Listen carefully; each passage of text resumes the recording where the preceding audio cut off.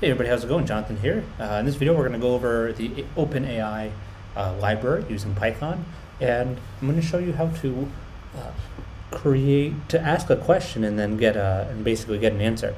And if you're reading this video, if you're watching this video rather, the uh, the title of this video is going to be generated by the code that we're about to uh, execute.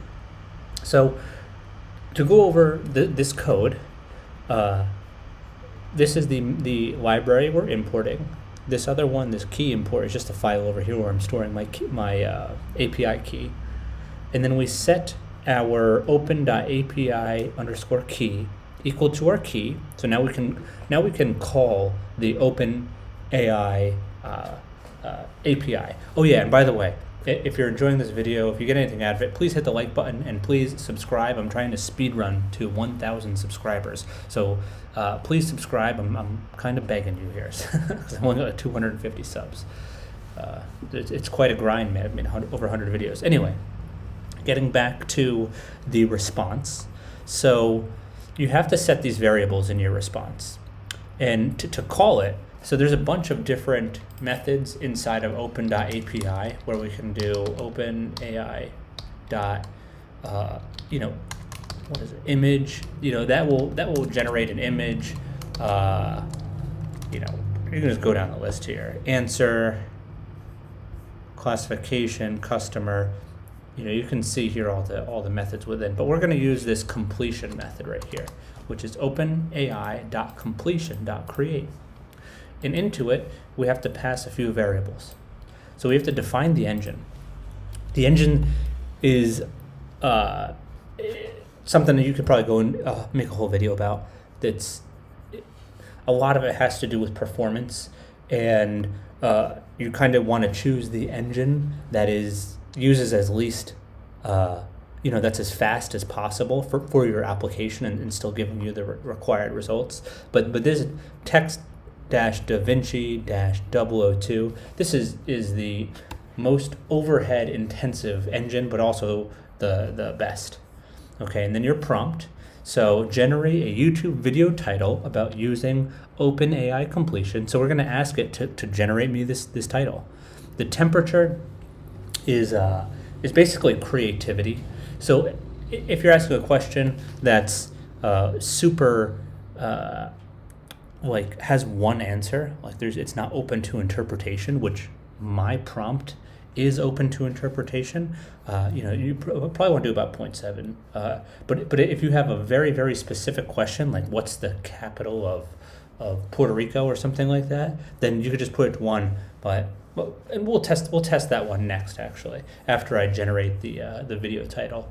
Uh, max tokens these other four frequency penalty pre presence penalty uh, those are these are all entire videos on their own about how they work, uh, and and you can you can uh, check out the API yourself. I'll put a link below, and then we print the response. So we're storing the response here. So let's run it and let's see what OpenAI decides to name my my uh, my video.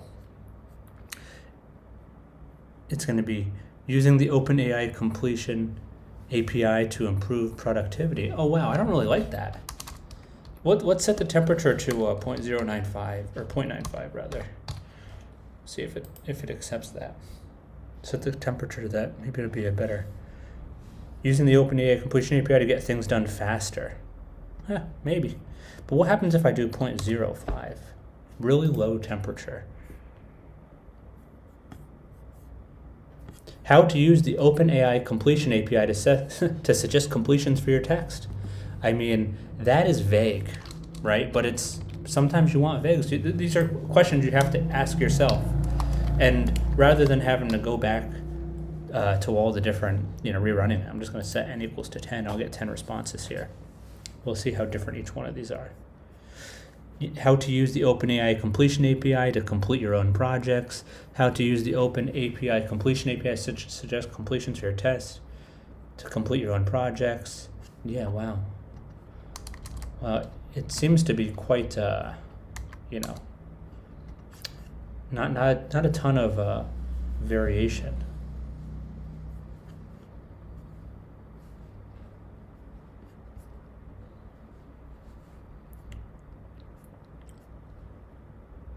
maybe we can just do this. OpenAI completion API, how to use. OpenAI completion with Hugging Face, the, fe- the future of AI. What the heck? Yeah, we'll, we'll do this one. So this is it. This is my new, uh, that's the title for my video there. And, you know, and, and I want to go back and see, you know, what is the capital of Puerto Rico? What's the capital? Does it just answer the question? The capital of Puerto Rico is San Juan. San Juan. What happens if I drop this to 0.01? Maybe 001. Maybe 002. Because I, I have fat fingers. See? Still, it's there's no there's no ambiguity to that. So yeah, so that's how you use a completion API uh, using OpenAI. So thank you for thank you for watching. Please hit the subscribe button and uh, click the like button. Leave me a comment, uh, and have a great day. Thank you so much. Bye bye.